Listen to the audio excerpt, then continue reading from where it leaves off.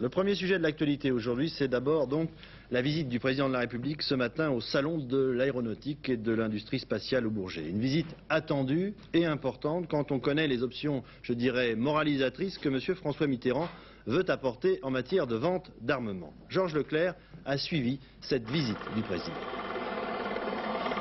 On se demandait dans les milieux de l'aviation si le président de la République allait ou non inaugurer ce 34e salon du Bourget qui reste quand même un des hauts lieux du commerce mondial des armes. Ce matin, l'atterrissage de cet hélicoptère Puma de l'aérospatiale leva tous les doutes. François Mitterrand s'intéresse aux avions.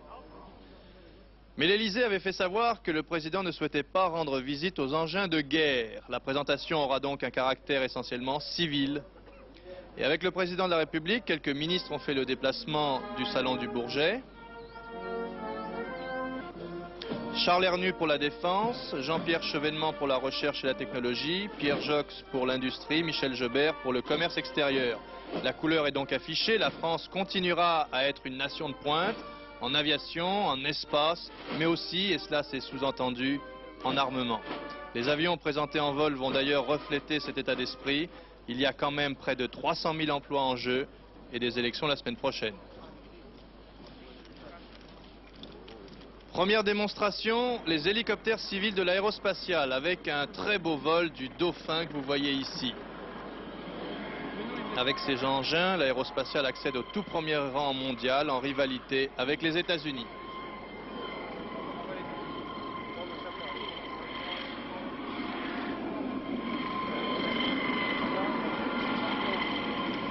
C'est encore en rivalité avec les États-Unis que l'Airbus va effectuer ici son vol de démonstration extrêmement spectaculaire avec un arraché du sol. Évidemment, l'Airbus est vite, c'est plus facile.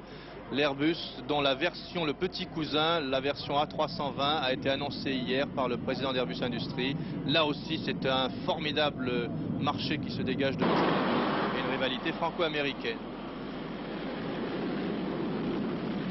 Les organisateurs du salon n'ont pas hésité. Il faut quand même faire voler un chasseur de l'armée française. C'est le Mirage 2000, le voici.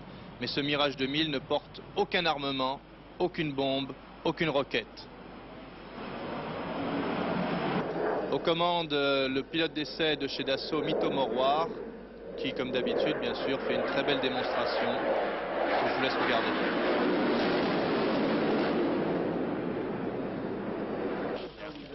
Au sol, le président de la République s'intéresse à l'espace. Voici les deux cosmonautes français qui viennent d'arriver d'Union soviétique où ils s'entraînent.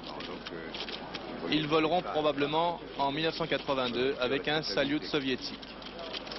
Bien sûr, la fusée Ariane a retenu toute son attention puisque le décollage est prévu le 19 juin, c'est-à-dire à la fin de ce mois.